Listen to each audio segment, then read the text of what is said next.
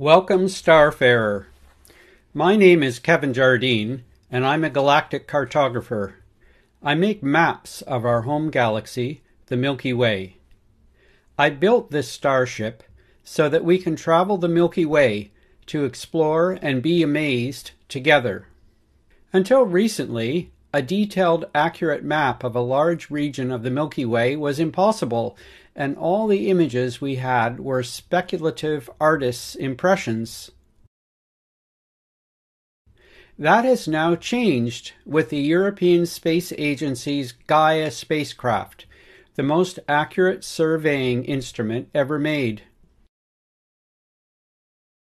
Gaia has launched the greatest cartographic adventure since the European discovery of the New World. Gaia's twin telescopes have mapped a large region of our galaxy out in detail.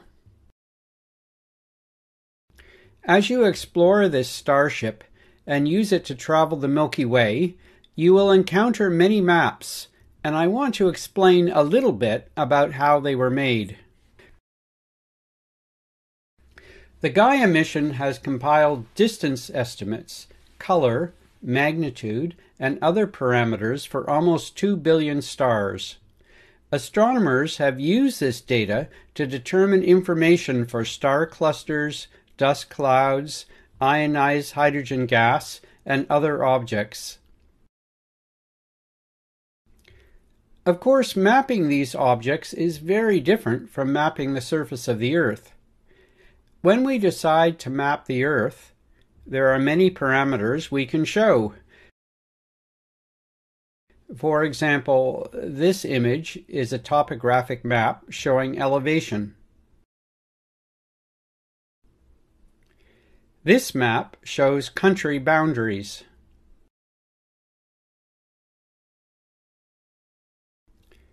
This map shows population distribution. We can borrow many of the mapping techniques used by terrestrial cartographers to map the Milky Way. Instead of elevation, we can map hot star density. Instead of mountain ranges, we can map vast chains of dust clouds. Instead of cities and towns, we can map star clusters and regions of ionized hydrogen gas. Many of the algorithms that I have used to map star density and dust concentrations are taken from medicine, where they are used to compute tissue density based on MRI scans. In a sense, the galactic maps you can see on this starship are MRI scans of the Milky Way.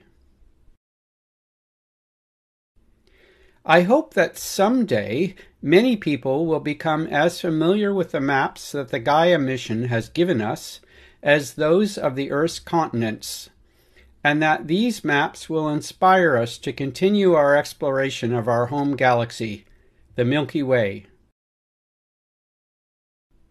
Smooth sailing.